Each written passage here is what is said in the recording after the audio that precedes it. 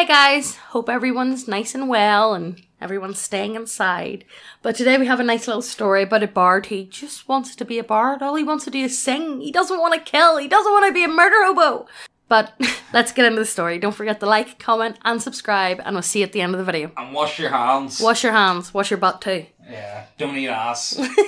well, be normal, bastard born bard. Decide to try out this adventuring thing because it could be good for music inspiration or price discounts. Hey. Go to local keep and ask if there are any jobs going. Get told that they need a book recaptured from kobolds and that you can join group of mercs who are heading out to get it. Greet new friends with warm smiles. Party consists of a mage threatened to cut for experiments for smiling, a retard barbarian who does whatever the wizard says, I've never met one of them and I've never met a nearsighted cleric to some god. You don't care whose, so long as he heals people, namely you. A sorcerer obsessed with getting a pet dragon. And a monk who likes hitting you because you're the bard. Go along with him anyway and hope for the best. Start singing an inspiring song as you travel to pass time. Song attracts wolves. Oh god, how bad of a singer are you? The wolves are like! Immediately try to shoot one with heavy crossbow. Almost insta kill the sorcerer because you tried to befriend the savage beast and got in the way. Get blamed for it and hit again. Continue on to known location of book, Kobold Cave. Tell rest of the party to wait back while you talk to them. Approach non threateningly and try to make peace. What be wap gotta beat bop Nina bong Don't let me. Kobold threatens to slice off your nuts, but Make Good Barbarian rushes out and kills them all. Go into cave with rest of group. Kill most of the kobolds inside since diplomacy isn't an option apparently. Find Snake Altar to Snake God or something. Snake Man who is drunk off his ass approaches. Sing song for him and get him to talk. Learn a bit about why the book is important while making silent gestures for someone to knock him out and bag him. Wizard hits both of you with web spell before getting set on fire. Then rest of the party bags Snake Man. Find Kobold leader and surprise him by casting light on Barbarian Axe before sending him in. Somehow capture him alive and interrogate him for info. Use psychopathic wizard tendencies to boost intimidation checks. See that guy over there? If you don't tell us what we want to know, you will end up like your friend. Q wizard mutilating corpses with a knife like a fucking psychopath. Try not to vomit. Vomit. Vomiting makes kobold vomit. Vomiting makes wizard angry and he shanks the kobold. And you for good measure. Try to interrogate Snake Man outside. Pull bag off head and ask where a book is. Learns that book is somewhere in big city to the south. About to ask for more when Barbarian kills him and everyone else leaves. Sigh and take religious iconography. His fangs and his money before following. Think adventuring is not for you, but decide to try a bit longer. Get back to keep. Try to sweet talk boss lady and sugarcoat the fact you don't have the book. Explain situation and she is sympathetic. Gives party more money and some recommendations to local vendors before telling party to go. Decide to spend a few days singing on street corner while rest of the party does their thing. Make a lot of money. Reputation gets big boost from performance. Party finds you. Shakes you down for all the money you made. Aw, that's just... Aww. Mocks you for being a lame ass singer. Then Wizard forces you to help him steal book from local library. Actively sabotage it without him knowing because you're a neutral good, not chaotic neutral. Before leaving, party decides to buy horses. Not enough horses for everyone. Consider making you walk in. Considers What? making you walk instead. That's- what assholes! What type of group is this? Get them to agree to buy donkey for you to ride on. Boss lady meets everyone at gate to say goodbye. Smile at her and offer flower you picked up earlier. She doesn't take it or smile, but says thank you. Sigh and eat flower because your day isn't going well and it's madly amusing to yourself. Wizard hits you upside the head for this. Points crossbow at him. Suddenly everyone points weapon at everyone else. Mexican standoff style. Slowly lower weapon one after the other, with Boss Lady muttering that you're all fucking idiots. Leave city and seriously regret life choices. Yeah, I would. Yeah, I would Yeah. Be, I would. I would be a bit upset at this point. Party will not wait for your slow ass. Literally, he's on a Yeah. donkey. Lag behind on ass and use precious 3.5 D&D edition first level spell slot to cast Prestidigitation to clean up your donkey. Call her Mary and start singing a song while you are alone. Suddenly come across corpses of three dead patrolmen on road. Put two and two together and realise that you are partying with psychopaths. Spend a few hours giving bodies proper burial in shallow graves and say any prayers you know over them before moving on. Arrive at town long after nightfall. Find nearest townsperson and ask where the band of assholes on horses are. Find them in a local inn. Give middle finger to them before buying most expensive room, because you deserve it. Next day, party decides to look for local work. You try to cheer people's moods in town by singing. Epic singing skills do not work as everyone is super depressed. I can imagine there's also the most breaking dreary time, Yeah. and this fellow locking up singing, doo doo doo doo. It's like, oh, mate, please leave me alone, would you? Find out that a stone golem is stopping people from using local bridge. Go to see and find rest party trying and failing to fight it. Don't help. You didn't sign up for death. Party later blames you for not helping them fight giant fucking stone monster that one shot the barbarian with a single punch. Ask around more and learn of cult of evil snake god on top of mountain. Tell party and convince them to look into it. While climbing mountain, see giant shadow looming over you all. It's a dragon! Dot JPG. Everyone hides for cover. Cleric does not see and just hides behind his shield. Hear beating of wings, the shadow growing smaller and smaller and smaller. Tiny pseudo dragon lands in front of Cleric and lightly frosts his toes with breath weapon. Try to talk to it.